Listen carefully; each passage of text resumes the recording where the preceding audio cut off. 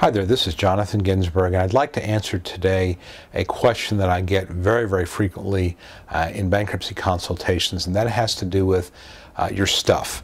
Uh, and the question really is Am I going to lose my stuff if I file bankruptcy? Am I going to lose my house, my car, my furniture, um, my sporting goods equipment, my cameras and so forth.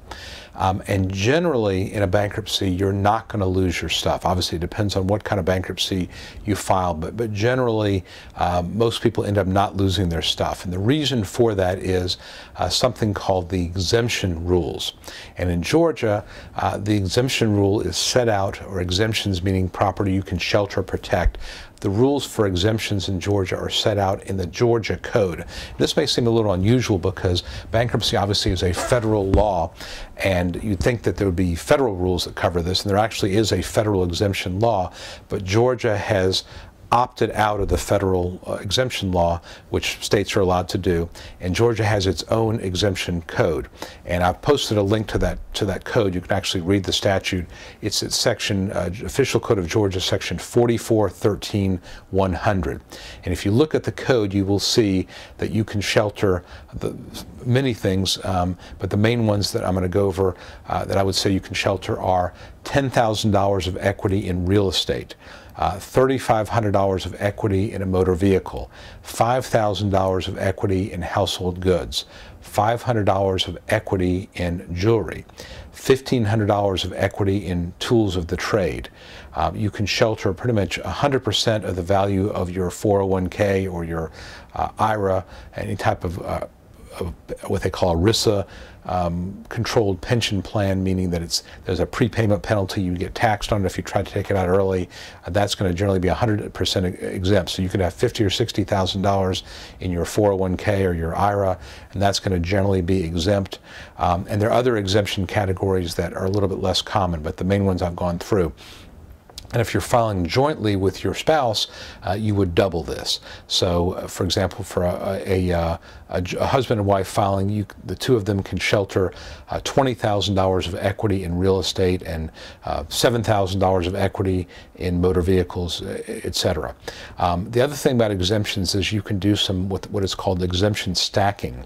And what that means is that uh, one of the things in Georgia, one of the, the rules in Georgia says that if you don't use your real estate homestead exemption, you, you don't use all of it, you can take up to half of it and apply it to some other category. So, for example, if you don't have a house and you've got a vehicle that's worth $5,000, you can take the $3,500 real estate exemption, then you can take another $1,500 from your unused uh, real estate exemption, so $3,500 of the motor vehicle exemption, $1,500 of the unused real estate exemption, and you can combine them together and shelter the full $5,000 value of your vehicle.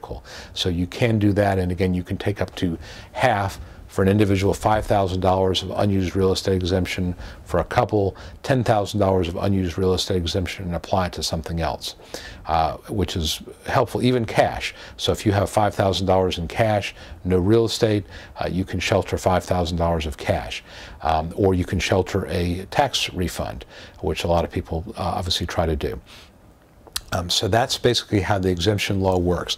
Now, I mentioned in my definitions the concept of equity. And what does equity mean? And that is your ownership interest. So, for example, if you have a vehicle that is worth $7,000, um, but there is a $2,000 lien, in other words, the finance company has $2,000 of, of, claim against that vehicle, that's the remaining balance, uh, there's only $5,000 of equity. So, what we're focused on is what you actually own, what you would get if you sold the vehicle.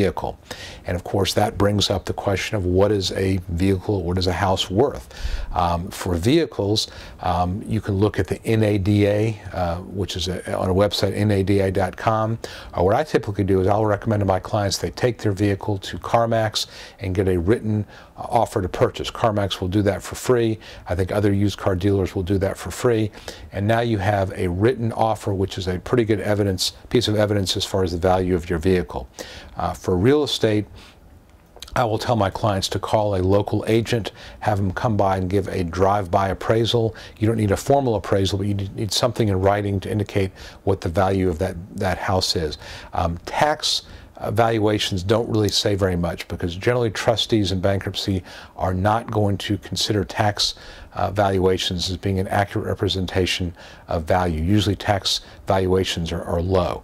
Um, of course, in this economic climate, they may be high, but I generally like to get some sort of a, um, a real estate agent to come by and give me a, a drive-by appraisal.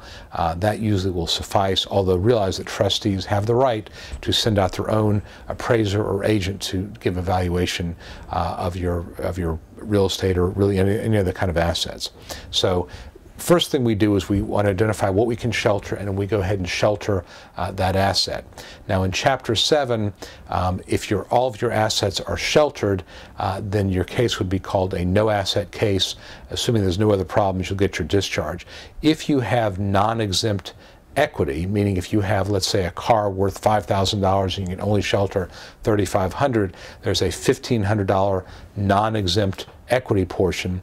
What would happen in a Chapter 7 is that the trustee would ask you to buy out the estate's interest, meaning that you would have to actually pay the trustee uh, $1,500 or some negotiated figure, which would then be used to uh, he would he would use that money. He he would pay back creditors based on a certain priority kind of order. So the trustee would actually seize money um, and buy out your interest. If you were not willing to buy the trustee out, then the trustee would actually take the asset and sell it. So it's very very rare, but it does happen.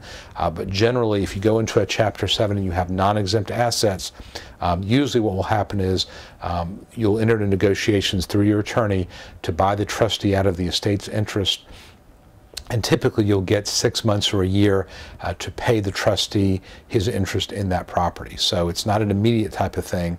And normally if it's two or three or four thousand dollars, it's something you can probably work out. Uh, if it's more than that, uh, it may be a, a, situation where you got to negotiate. And I've actually been involved in cases where um, I've litigated uh, before a judge the valuation of property uh, to challenge the trustee. The trustee argued it was worth X. I thought it was worth Y, and the judge had to make a decision. And we would actually bring in, in my case, I brought in a real estate agent to testify. This is what I think this is worth, um, and that was sufficient for the judge, and he actually found in my favor in that case. So that's what happens in a Chapter 7. In a Chapter 13, if you have assets that exceed your exemption, in other words, this non-exempt property, uh, what happens then is that you your Chapter 13, you would have to pay back your unsecured creditors in the 13 at least the amount of money they would get if, if the case was a Chapter 7 liquidation. So, for example, um, if you have $10,000 of non-exempt equity, then your unsecured creditors are going to have to get, uh, in total, are going to have to get $10,000 uh, to distribute amongst themselves, or the trustee would distribute it to them. Um, so it's going to have to be at least a 10, uh, a, a, plan that pays back uh, $10,000. Um, so if you have uh, $20,000 of debt, uh, then that $10,000 payout is going to be 50 cents on the dollar or a 50% plan. If you have $10,000 of debt, um, then the $10,000 non-exempt equity is going to be a 100% plan. So the percentage plan you have is going to really determine uh, what uh, the percentage plan is going to be determined by your non-exempt equity, among other factors, but that's basically how that works. So this has been a brief discussion of the exemptions uh, that exist in a bankruptcy case. As I said, you are not uh, generally going to lose any property in a bankruptcy. Uh, however, uh, you should be aware of what the valuation of your assets what it is, be prepared to have proof of that.